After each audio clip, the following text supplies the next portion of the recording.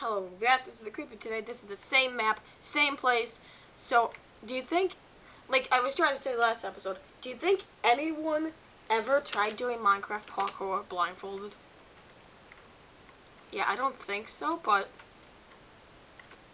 sounds kind of interesting to try, but I don't think I'm gonna try it. Um, especially on this map because you're all over the place TPing and stuff like that. Um, yeah, this map you gotta, this part you gotta jump, turn back, no, oh. Okay, and if you land here, no, it teleported you, but it's a little late to go back and see what it, what was in the chest. But now, you just gotta follow the lights. But let's see, I'm going to try closing my eyes now. Or at least looking down. That? Now, of course, I fell in the water. So I'm going to try this, like, actually. Looking at my computer screen. There we go. So now in this chest there's more diamonds.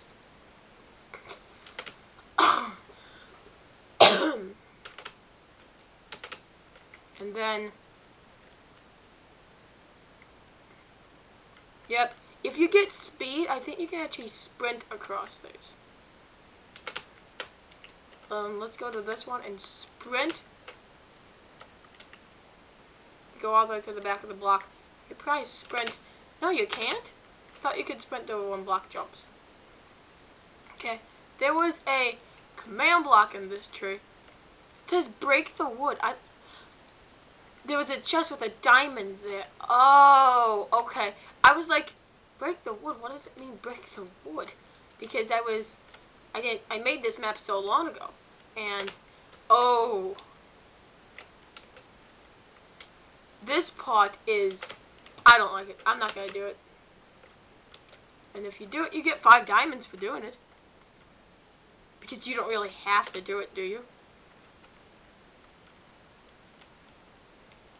Nope, you just jump to this tree and then fall down to there.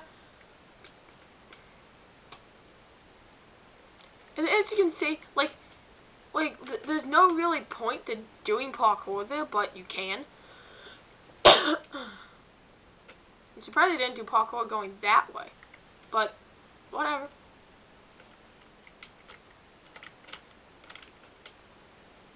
Alright, so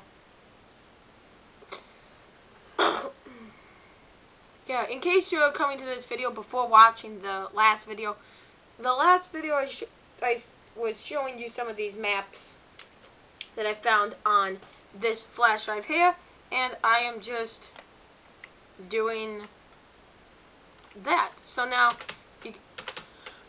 this is why it said you need clouds off, and I don't think I ever turned clouds back on. Um, I'm going to try from right here. Of course. Yep, never mind. I'm going to get in the waterfall, push back, and then go, go, go, go. Okay, okay. Oh! Oh, that was cool. You get five diamonds.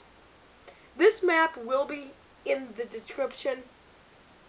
In the description will be my website.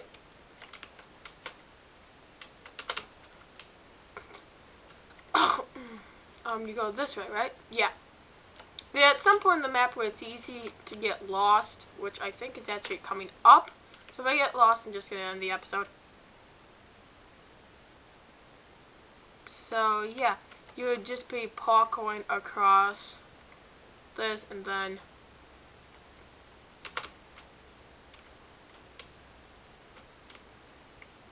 And then into another village. Up, and then you can open the chest, grab the stuff, and where do you go from here?